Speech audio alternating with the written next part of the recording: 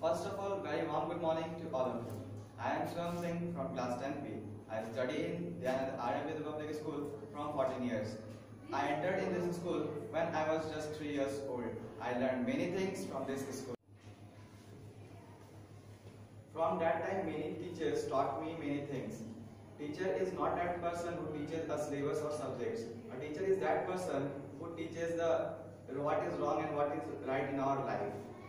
A teacher plays a very important role in our in a student life.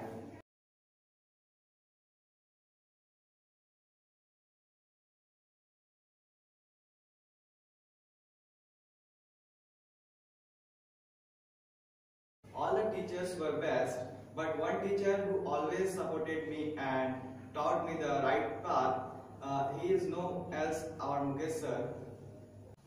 He is the best teacher I got in my life. He always trusted me and supported me and uh, taught me the right way. He always tried to understand the feelings of the students and help the student who need his help. He is the in charge of our school. He helped us in more many ways.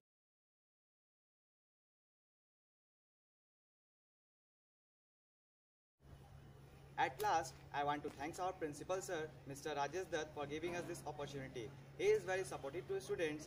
According to my view, he is the best principal in my life. Thank you, lovely professional university, for giving us this opportunity. Please vote for my favorite teacher. Have a nice day.